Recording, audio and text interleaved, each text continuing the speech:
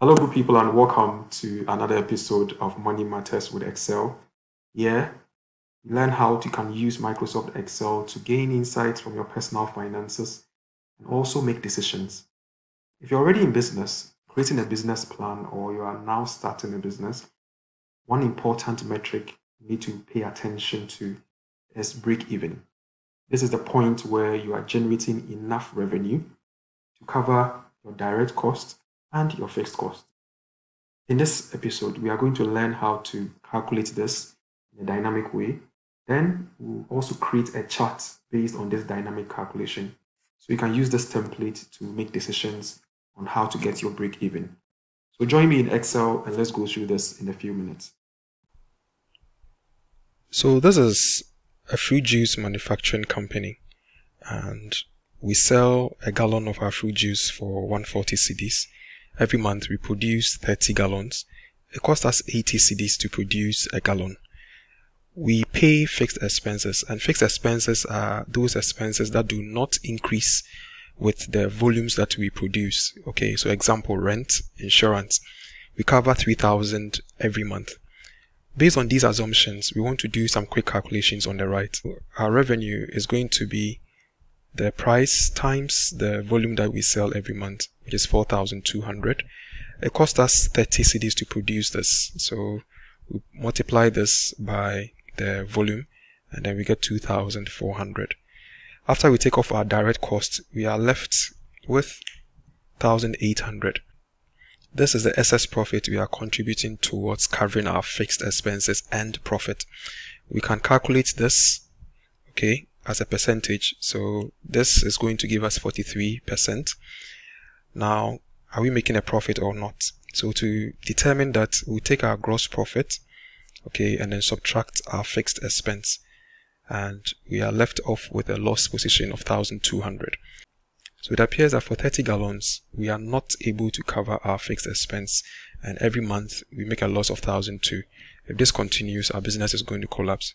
So we take a step back and then decide how much should we then strive to produce, okay, every month in order to be able to cover our fixed costs and make a profit. To do this, we can use Excel's Goal Seek, okay. So if you want to use Goal Seek, you can come to data, what if analysis, Goal Seek. So Goal Seek allows you to set a particular cell or result to a value. So we know that the point where this is zero, the profit is zero, that is where we have generated enough to cover our fixed expenses. So we are setting this to zero by changing the number of gallons we are supposed to produce. Okay, so when I click OK, this now runs to zero and it increases this to 50 gallons. So that's how much we are supposed to produce. Now, what if we want a dynamic way to calculate this? So in order to quickly calculate our break-even units, we need to determine that our contribution per unit, okay, which is how much we make for producing each gallon, okay, is technically 60 cedis. Okay, so this 60 cedis, how many gallons should we produce in order to generate 3000? So we'll do a quick change of subject and that is going to be equal to 3000 divided by this 60 but I will pick this in a very dynamic way. So my price minus this. Okay. So this is going to be 50. Now, if I plug this back in here, okay, you realize that I now have this driving my break-even position. Because this is no more an input, I can change the color to black as we do in financial modeling. So based on your price and then based on your variable cost, this is a dynamic way to know how much you are supposed to produce in order to at least cover your fixed expenses and start making profit. Now let's visualize this. So in order to visualize this, we can start off with units, the number of units we are supposed to produce every month, calculate our revenue, okay, and then we are able to also put in our fixed cost, and then from here we can get our total cost and then determine our profit. Okay, so we start off with zero units and we are going to increase this by 10. So that is why I brought in the incremental value. So we are going to create a table. So zero, as we increase by 10, I'm going to lock this at the row level. Okay, and then I'll push this down and I'll create about seven rows or eight rows. Our revenue at every point in time is going to be the units times the price. Okay, so again, I have to lock this as I'm going to copy this down. So I'll lock this at row level and then I'll copy this down. So this is the revenue for each unit that we are going to produce and our fixed cost is not going to change. So I'm going to reference this and then lock it and copy this down. Our total cost is a combination of fixed cost. So I'm going to sum this fixed cost, okay, and our variable cost. So our variable cost is the number of units we produce every month times the variable cost per unit. Okay, again, I'm going to lock this at row level and then I'll close this. So this is going to be total cost. I could have separated variable cost in another column, but because of the chart we are going to do, I chose to make it simple. So these will now give me my total cost. And then let's calculate our profit. So our profit is going to be revenue minus total cost. And I'll copy this down. So even at a glance, you realize that if you look here, 50 is where we start covering our fixed cost and we are able to make profit from this point onwards and this represents our break even. Now let's attempt to chart this. So if you've already laid this out, to chart this is very simple. Let me just highlight this Alt HBA to put in some borderline. You just need the first four columns, unit cost, revenue, fixed, and total cost. So I'm going to insert and then in my chart, I'll look out for the XY or bubble chart. So when this pops up, okay, I'm interested in the one with the smooth lines, okay. So I'll choose the one with the smooth lines and then I have this. Now let's make it clean. So I can make the title break even units. And then take off my grid lines. Okay, this is our revenue. So as a convention, we can make our revenue a solid line painted green. Okay. So and then this is our total cost. So we can make that one red as well okay and then we'll leave our fixed cost so the point where we generate enough revenue to cover our total cost this is where we break even so to make it more intuitive we can actually plot that intersection here okay so to do that let's come back to where we calculated our break-even units. We are going to add another data to this chart.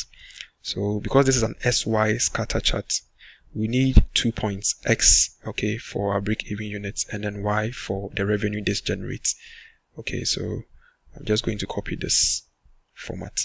So this will give us 50 times 140, which is how much we sell this. So we now have an X and a Y. So we can easily add this by going to chart design, select data, okay, and then we'll add data. So our series name is going to be break even units, and then our X value is going to be 50, okay, just as we have it earlier, and then our Y is going to be the revenue that this generates. So I'm going to click OK and this has been added to my original chart. But the question is now where is it? Can I see it? If you want to select any element of your chart, you can come to the format menu and in the left part you see the options to select any element in your chart. So we are looking for the break even that we just plotted. So when I do that, it now highlights this. So while we are here, I can press Ctrl 1, okay, and then I have the option to format this break even points that I put here. I'll come here in my fill and line option and then I'll choose marker. Because this is a marker and then in my marker options instead of none I'll choose built in. Okay so to make it stand out a bit I can increase this to about 8 okay if you like you can change the marker type. Okay and this is what we have. So now that we've done this let's add a label okay to make it easier. So I'm going to create a dynamic label here. So this dynamic label is going to be equal to 50 and I'm going to join this with units. Okay, so I'm doing it this way so that if it changes, the units is still going to come with it. So I will now come and select this visible marker and then I'll add a data label. So I'll go in here, data label, more options, and I'll choose my value for this from a cell. So I'm going to select this and then I'll click OK. So this is my break-even units chart. So if I want to play with any of these variable, that is price and variable cost. So example, if my variable cost goes up to, let's say 90, okay, it means I need to produce 60 units to break even. Okay. You can also play with price as well. So if this goes to 160, then you know that you don't have to work that hard. So you can set up this simple model to give you an idea on how much you should be producing in order to cover your fixed expenses. It's a good decision too. So the workbook will be shared on our YouTube page. You can visit and download and practice along. Thanks for watching. For more of these short videos, you can send ad to this WhatsApp number. We'll add you to our broadcast list. We send videos directly to your phones.